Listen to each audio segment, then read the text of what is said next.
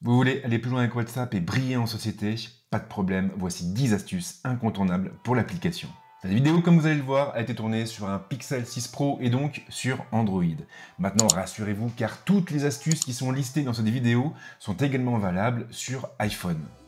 En revanche, hein, certains menus sont susceptibles de changer en fonction de la plateforme que vous utilisez. Il faut également signaler que WhatsApp évolue en permanence, en continu, et certaines de ces astuces, certaines de ces fonctions sont donc susceptibles hein, de disparaître au fil des futures mises à jour de l'outil. Mais trêve de bavardage, on va maintenant passer aux choses sérieuses et comme à chaque fois, vous avez dans la description de la vidéo un petit timecode qui vous permettra de retrouver facilement une astuce égarée.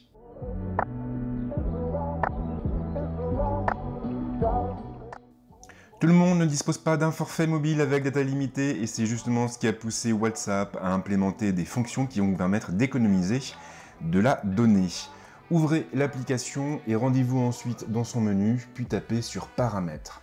Les options en question se trouvent toutes dans le même menu, à savoir Utilisation, données et stockage. Là, vous pourrez activer une option qui aura pour effet d'utiliser moins de données pour le téléchargement des médias associés aux conversations. Ici, vous pourrez également décocher tous les médias pour vous assurer que WhatsApp ne télécharge rien lorsque vous vous trouvez connecté sur les données mobiles. Et plus bas, ici, vous aurez la possibilité de définir la qualité de chargement des photos et donc d'opter pour une qualité optimale ou pour l'économiseur de données.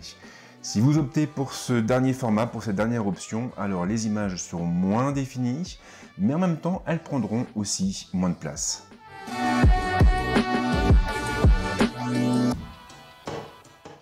S'il y a bien une fonction qui est agaçante avec WhatsApp, c'est lorsque l'application télécharge automatiquement les médias d'une discussion, ou plutôt des discussions, pour les stocker ensuite dans la galerie. C'est agaçant, mais il est parfaitement possible de reprendre la main sur cette fonction. Ouvrez WhatsApp, rendez-vous dans le menu de l'application, puis dans Paramètres. Tapez ensuite sur Discussion, et là vous avez une option qui va vous permettre de désactiver tout simplement l'affichage des médias récemment téléchargés dans la galerie de votre téléphone. Et à noter que c'est aussi dans ce menu que vous pourrez sauvegarder les discussions et les envoyer directement vers Google Drive ou iCloud. Et d'ailleurs, si vous êtes un petit peu à court au niveau des données, sachez qu'ici, vous pourrez décider d'inclure ou d'exclure les vidéos des discussions.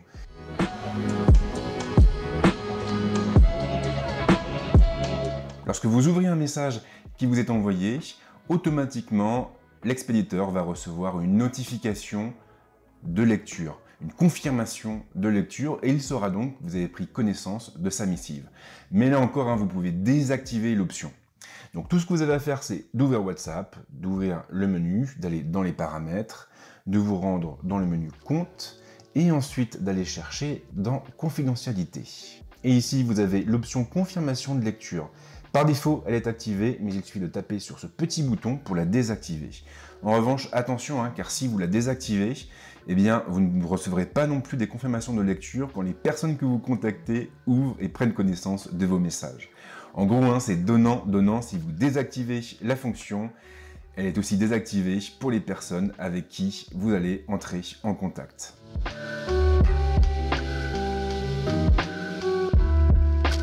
Supposons que des amis vous aient donné rendez-vous à un endroit que vous ne connaissez pas et que vous soyez perdu. Alors plutôt hein, que de prendre votre téléphone, de les appeler pour essayer de vous faire guider, eh bien tout ce que vous allez avoir à faire en fin de compte va être de partager votre localisation avec eux pour qu'ils puissent suivre vos déplacements.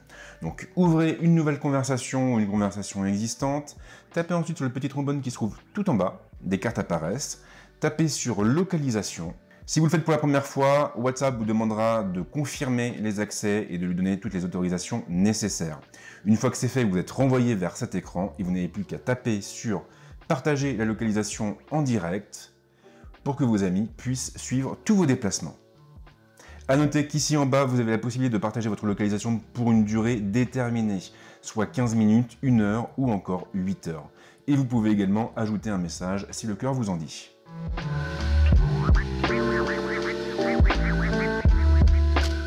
Si vous utilisez beaucoup WhatsApp, alors au bout d'un moment, l'application va prendre beaucoup de place dans la mémoire de votre téléphone.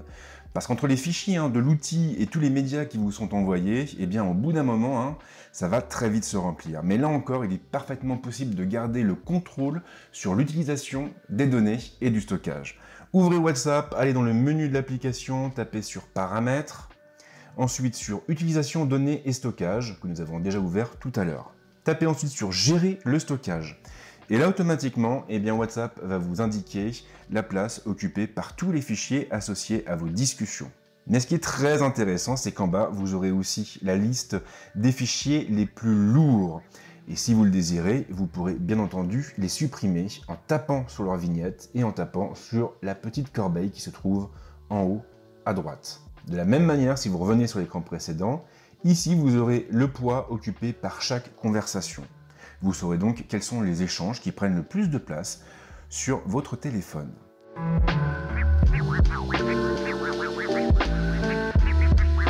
Il faut bien reconnaître, hein, l'interface de WhatsApp est un petit peu austère, mais rassurez-vous car vous pouvez changer les fonds d'écran utilisés dans les discussions. Ouvrez donc WhatsApp, allez dans le menu de l'application, puis dans Paramètres. Une fois que vous y êtes, tapez sur Discussion, puis dans sur Fond d'écran. En tapant sur le modifier, sur le bouton modifier, vous pourrez changer le fond d'écran et mettre autre chose. Et oui, effectivement, Alex m'envoie des messages, des photos assez bizarres, mais quoi qu'il en soit, vous pourrez par exemple partir sur des fonds d'écran sombres et aller chercher, bah, comme ici, ces petites lignes. Vous sélectionnez le fond d'écran. Pour valider, vous tapez sur le bouton définir comme fond d'écran.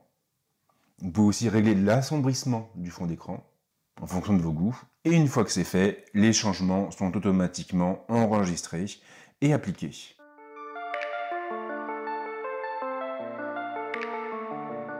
WhatsApp est une solution assez sécurisée, tous les messages qui sont transmis sont chiffrés et normalement personne ne peut les intercepter.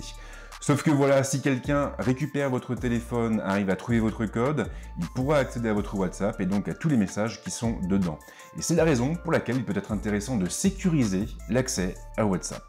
Donc ouvrez l'application, allez dans son menu en tapant sur les trois petits points là-haut, tapez sur Paramètres, allez ensuite dans Compte, puis dans Confidentialité.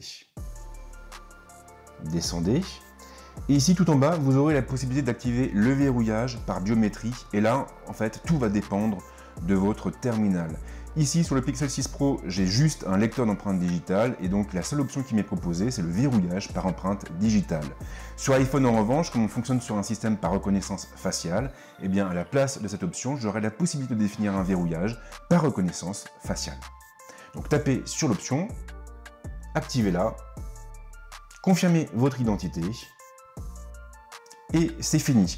Fait intéressant, une fois que vous aurez activé l'option, WhatsApp vous demandera au bout de combien de temps vous voulez que le verrouillage soit appliqué. Et là, vous avez le choix entre trois options immédiatement, au bout de 1 minute ou au bout de 30 minutes. Vous pourrez aussi dire à WhatsApp de montrer ou de masquer le contenu dans les notifications.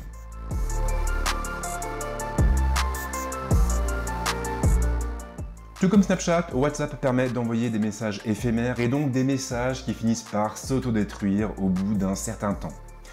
Donc tout ce que vous avez à faire pour les activer, c'est de taper sur la conversation de votre choix et d'aller chercher en haut le nom de votre contact. Pour activer les messages éphémères, il suffira de taper sur l'option ici. Là, WhatsApp, la première fois, vous expliquera comment fonctionnent hein, ces messages éphémères. Il faudra taper sur le bouton Continuer. Et ensuite, aller chercher l'option délai avant disparition. Par défaut, le délai en question est désactivé, mais si vous l'activez, eh bien, les messages éphémères seront automatiquement enclenchés dans la conversation. Attention en revanche, hein, car la suppression des messages ne se fera qu'au bout de 7 jours, c'est précisé ici. Et bien sûr, hein, si la personne en face fait une capture écran, eh bien, vos messages hein, resteront visibles et resteront gravés hein, dans l'histoire d'Internet. Donc quoi qu'il en soit, si je peux vous donner un conseil, c'est de ne jamais envoyer quelque chose dont vous pourriez avoir honte un jour.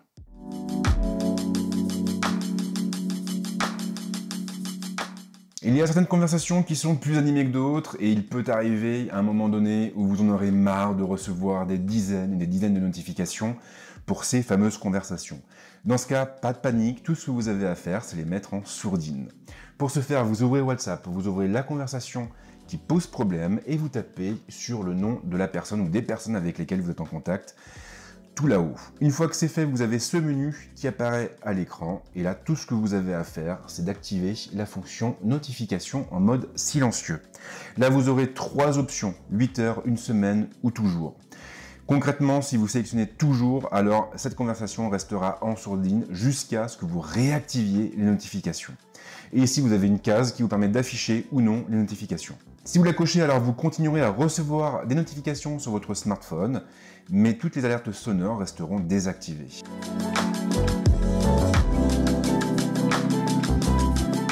Aujourd'hui, la mode est au thème sombre et bien sûr WhatsApp ne peut pas faire l'impasse dessus. Il est donc possible hein, d'activer un thème assombri sur l'application. Donc ouvrez l'outil, allez dans son menu, allez dans paramètres, allez ensuite dans discussion, tapez sur thème et là vous aurez trois options. Thème par défaut du système, clair ou sombre. La première option va caler l'application du thème sur WhatsApp sur l'application du thème à travers le système. Globalement, si vous avez configuré votre téléphone avec un thème clair, c'est le thème clair qui sera appliqué à WhatsApp. Au contraire, si vous avez activé le thème sombre sur votre plateforme, alors c'est le thème sombre qui sera appliqué à WhatsApp. Et si jamais vous voulez avoir un peu plus de latitude, eh bien vous pouvez choisir directement le mode clair ou directement le mode sombre en tapant sur les options associées. Et voici donc pour les 10 astuces incontournables pour WhatsApp. Alors bien sûr, il y en a plein d'autres, et comme à chaque fois, si vous en connaissez qui valent le coup d'œil, n'hésitez pas à laisser un commentaire à la suite de la vidéo.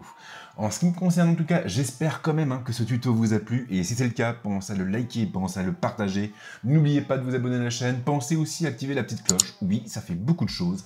Et en ce qui me concerne, je vous souhaite de passer une très bonne semaine, ou un très bon week-end, et on se retrouve très vite avec d'autres vidéos. Ciao